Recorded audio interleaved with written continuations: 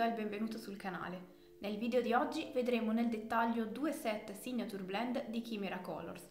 Sono due set che differiscono dalle scatole principali di Chimera perché sono composti da miscele di pigmenti e non da pigmenti puri. Se vuoi prima approfondire le caratteristiche che riguardano i colori Chimera delle scatole base e espansione 1, trovi il link qui sotto in descrizione. Questi due piccoli set sono composti da colori formulati e mescolati partendo dai colori chimera, dai due grandi maestri ai quali sono dedicati, ovvero Danilo Cartacci e Mikhail Pisarski. Non perdiamo altro tempo e cominciamo subito. Vediamo quindi i set nel dettaglio. Entrambi si presentano in piccole scatoline da 6 colori ognuno. L'estetica della confezione e delle boccette segue quella delle scatole base, con alcune differenze per quanto riguarda etichette e tappi. Da bianchi nelle scatole base, qui diventano neri, così da essere ben riconoscibili.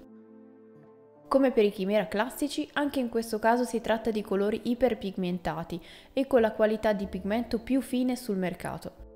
Questo permette di usare pochissimo colore per grandi superfici, rendendo la boccetta da 30 ml davvero duratura.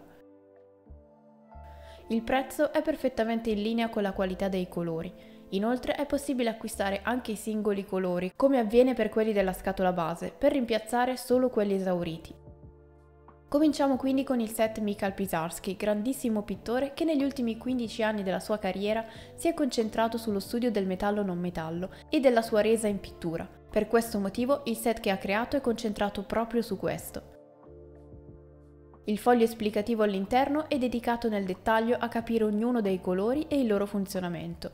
Nello specifico, quello di Pisarski comprende colori perfetti per ricreare l'effetto del metallo non metallo e tutte le tonalità necessarie per creare volume, ma non solo, dato che per un maggiore realismo vanno considerate anche le luci e i riflessi secondari derivanti dall'ambiente circostante, ecco che vengono inseriti colori per simulare il cielo, così come la terra e la vegetazione circostanti.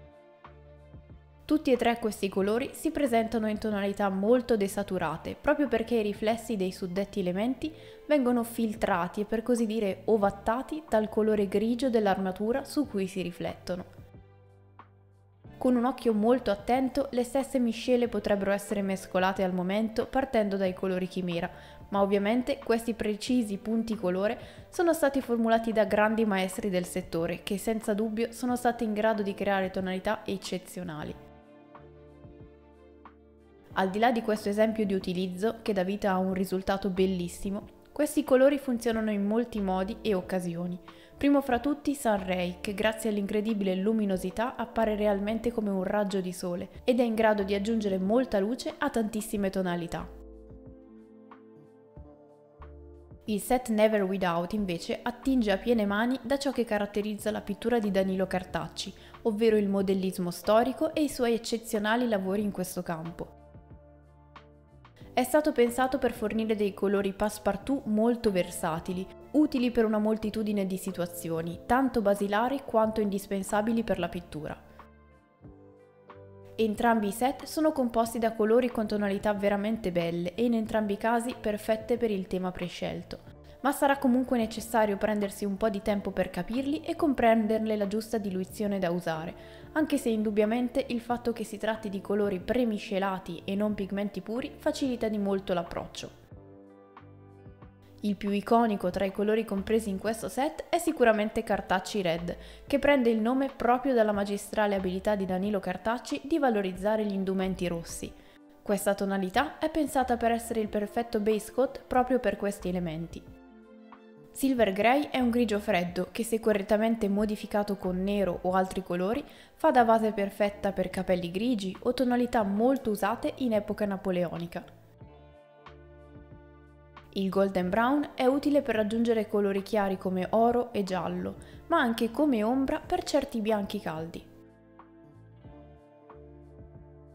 Il kiwi brown è pensato anch'esso per dare maggiore brio a tessuti bianchi e neri, per evitare di farli virare solo verso il grigio, rispettivamente nelle luci per il nero e nelle ombre per il bianco.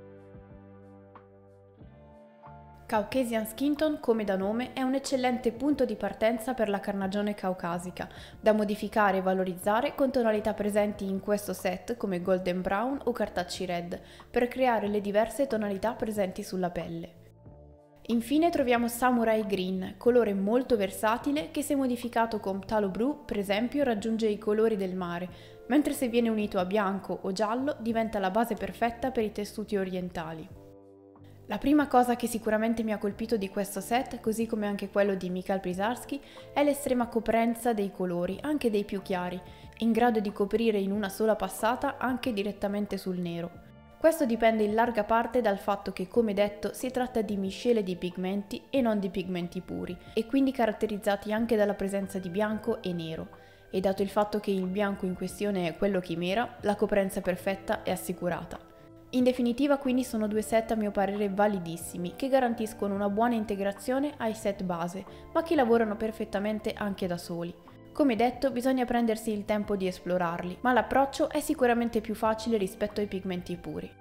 E con questo si conclude anche il video di oggi. Come sempre spero che vi sia stato utile per capire se questi prodotti fanno al caso vostro. Se avete dubbi o domande e volete condividere con la community vi ricordo che potete scriverli qui sotto nei commenti come anche condividere le vostre esperienze. Vi ricordo di dare un'occhiata alla descrizione per altri video e prodotti consigliati e vi do appuntamento al prossimo video, ma fino ad allora siate creativi!